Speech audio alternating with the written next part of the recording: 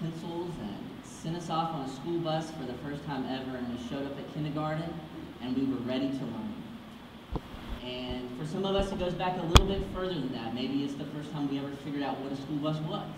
Or maybe it was the first time we saw that yellow thing and heard the word bus and made a connection between those two things. What we're finding, though, is that, that recent research is showing that, that our brains are developing much, much earlier than that. That nearly 85% of your brain is developed by the time you're 36 months old.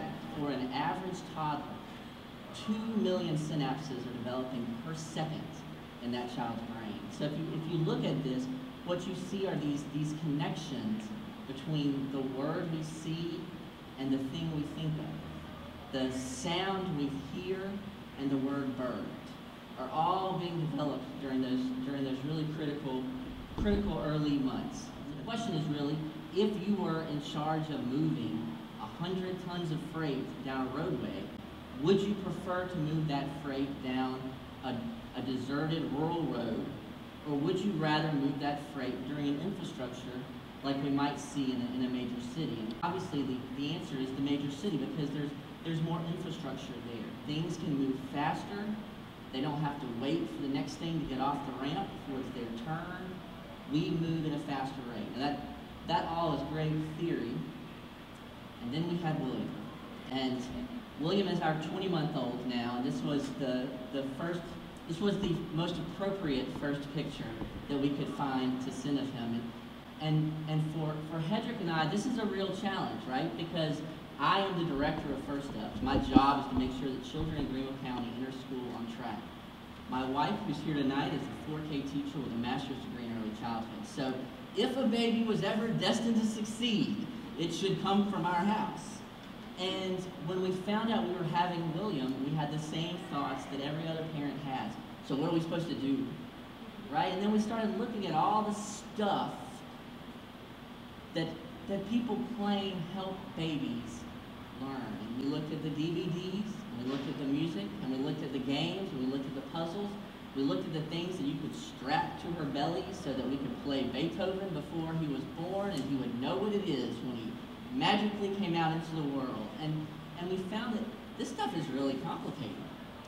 And we found there's not a whole lot of research that says that any of this stuff really makes as much a difference as a few very, very simple things. And so what I wanted to talk about tonight, or what we found research shows, are the two most effective things in making sure children enter school on track.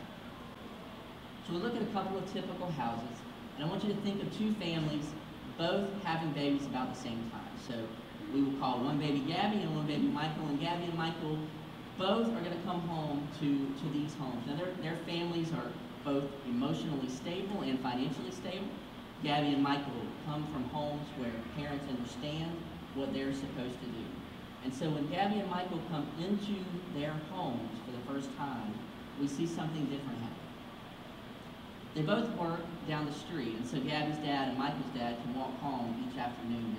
And, and at about 4.30 in the afternoon, they come home from a day's work, and both of their moms, glad to hand the baby off, meet them at the door, toss the baby, and then head back into the further part of the house. And, and here's something different happens. Michael's dad sits down on the couch, puts on a sweatshirt, and he and the baby watch a little television. Maybe they tickle each other, but they, they're basically hanging out on the couch watching TV. But Gabby's dad does something a little different. She has a basket by the couch with some books. And Gabby's dad brings out the books, and Gabby chooses the book that she wants. And they read these books for about 15 minutes a day. If you stop time here, something profound is happening. 15 minutes a day. That's all it takes. If Gabby is read to 15 minutes a day, from the time she is born till the time she enters kindergarten, Gabby will have one to two million more words exposed to her than Michael. One to two million more words in 15 minutes a day. Now some of you may think, but there's no way there's one to two million more words in the world than, than what Michael's exposed to. Last night we were reading to William, and one of the stories that he likes right now is a story about a monster. It's not his monster. And it's, uh, it's called Not My Monster, and he knows it's not his monster because each page shows him there's something else wrong with that monster. One monster is too prickly, one monster is too ticklish, one monster is too fluffy, one monster is way too furry. I will never, in a typical day with William, use the words prickly, tickly, fluffy, or furry. But William will hear those words every single night that he picks up that book. And you think about words like violet and oyster and seashore, words that we never use where we live. But children hear those words and they see a picture and they make a connection. And we go back to those roadways, those, those pictures and those connections are what's going to make a difference. One to two million more words makes a difference. And the difference is when Gabby enters kindergarten, she will actually have a larger vocabulary than Michael's parents. I'll say that one. So when Gabby enters kindergarten, after being read to 15 minutes a day, she will have a larger vocabulary than Michael's parents, just from those 15 minutes a day. So we know that's one, one success. But there's another one. So Gabby and Michael's parents both also have a stroller. And Gabby and Michael's parents both also moved to Greenville, not knowing a whole lot of people. So they don't have family in the area. Their neighbors are pretty friendly, but they don't hang out together. When Michael's mom goes for a walk, she usually goes by herself, and she walks around the street, and we look at the leaves, and we look at the trees, and we talk about life. But Gabby's mom actually found a church down the street, and that church has a Mother's Morning Out program. One day a week, one hour a day, Gabby's mom gets to go into the church, drop her baby off in the nursery, and go have a cup of coffee. And that cup of coffee is going to be as profound in changing the life of that baby as those books are. What we find is that children who are able to take a break from their parents has a profound effect on the parent's ability to cope with stress. And that mom being able to talk to another mom will open doors to her to help her realize that she's not a terrible that these things happen. These things happen to us. And I'm going to show you. This is William. This picture here on the left was taken uh, when William was uh, realizing that it was 4.30 in the afternoon.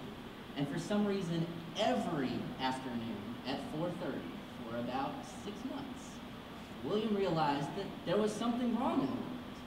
The problem was William's mom and dad never figured out what it was. And every day, when I came home from work, William was there, upset about something. And the only thing we could figure out to make it work was if we put William in a stroller and we walked down the street. It didn't make him stop crying, but it got him out of the house.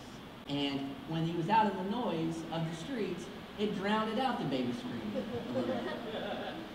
So Dad and Monster Baby walked around our block every day, and you could hear the neighbors batting the hatches, locking the doors, hiding back in the kitchen, telling their children not to go outside until the crazy baby got down the street. One day, one of the dads down the street came out. I don't know why. I think he may have gotten locked out of the house before we got near him. Came up and, like a baby whisperer, reached down and rubbed William on the back of his neck. And he stopped crying. I was in love with this man. and he told me that that's okay. These things happen. Apparently, there is something that no one ever told me about called the witching hour, where babies just get mad. And it has nothing to do with them being hungry or sleepy. It has nothing to do with them being mad or needing their diapers changed. They just aren't happy with life. But I had not heard that. And what I also hadn't heard was that I wasn't doing anything wrong. And so as a parent, to hear that sometimes these things just happen is better impact than any of the trainings you could possibly send a child parents to. Some of the research also shows that parents who are able to find other parents develop a social network that allows them to cope with stress.